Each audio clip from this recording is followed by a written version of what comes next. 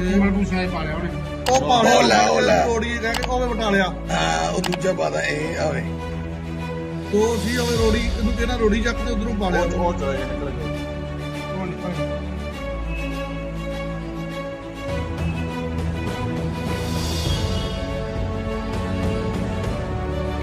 ਆਸ਼ੀਰਵਾਦ ਦੇ ਦਿਓ। ਹੋਰ ਆਰਟੀਫੀਸ਼ੀਅਲ ਦੀ ਗੱਲ ਲੱਗ ਘਰ ਤੋਂ ਉਧਰ ਦੀਆਂ ਕੋਠੀ ਨਾਨਕਪੁਰੇ ਤੋਂ ਘਰ ਨੂੰ ਆ ਰਿਹਾ ਸੀ ਤੇ ਸਟਾਫ ਵਾਲੀ ਗਲੀ ਜਦੋਂ ਮੈਂ ਆਇਆ ਨਾ ਤੇ ਮੇਰੇ ਕੋਲੇ ਇੱਕ ਆਦਮੀ ਤੇ ਬੁੜੀ ਪਹਿਲੇ ਆਈ। ਉਹਨੇ ਉਹਨੇ ਘੇਰ ਕੇ ਤੇ ਫਿਰ ਉਹ ਕਹਿੰਦੇ ਸਾਡੇ ਬਾਬਾ ਜੀ ਆ।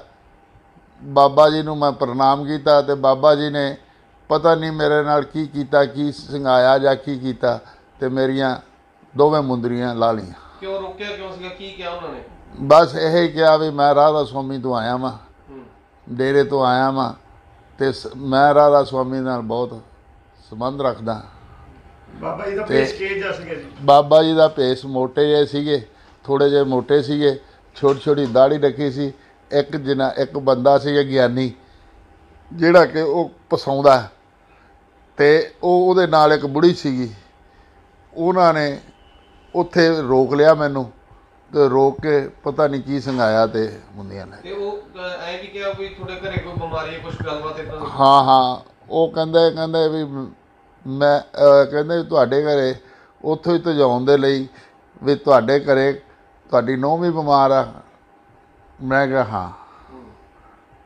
ਬਸ ਇੰਨੀ ਗੱਲ ਹੋਈ ਤੇ ਉਹ ਲਾ ਕੇ ਲੈ ਗਏ। ਕੋਈ ਮੰਤਰ ਮੰਤਰ ਵੀ ਮਾਰਿਆ ਕੋਈ ਚੀਜ਼ ਇਹ ਇਹ ਨਹੀਂ ਮੈਨੂੰ ਪਤਾ ਵੀ ਉਹਨਾਂ ਨੇ ਕੀ ਕੀਤਾ ਮੈਨੂੰ ਘੰਟਾ ਹੋਸ਼ ਹੀ ਨਹੀਂ ਆਈ।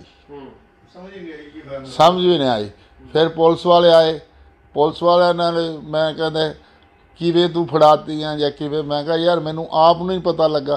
ਹੂੰ 65 ਸਾਲ ਦੀ ਉਮਰ ਆ ਤੇ ਮੈਨੂੰ ਆਪ ਨੂੰ ਹੀ ਨਹੀਂ ਪਤਾ ਲੱਗਿਆ ਵੀ ਕੀ ਹੋਇਆ ਕੀ ਨਹੀਂ ਹੋਇਆ। ਹੁਣ ਜਾਇਆ ਕਿ ਠੱਗੀਆਂ ਹੋਰ ਵੀ ਲੋਕਾਂ ਨਾਲ ਠ- ਜਿਹੜੀਆਂ ਸੁਣਨ ਚ ਆਇਆ ਵੀ ਠੱਗੀਆਂ ਹੋਰ ਵੀ ਉਹ ਮਾਰਦੇ ਫਿਰਦੇ ਆ ਤਿੰਨੇ ਜਣੇ। ਕੀ ਮੰਗ ਕਰਦੇ ਪੁਲਿਸ ਪ੍ਰਸ਼ਾਸਨ ਤੋਂ? ਪੁਰ ਸਾਨੂੰ ਇਨਸਾਫ ਮਿਲਣਾ ਚਾਹੀਦਾ ਤੇ ਸਾਨੂੰ ਮੰਦੀਆਂ ਮਿਲਣਾ। ਕੀ ਲੈ ਕੇ ਕੀ ਗਿਆ ਤੁਹਾਡਾ?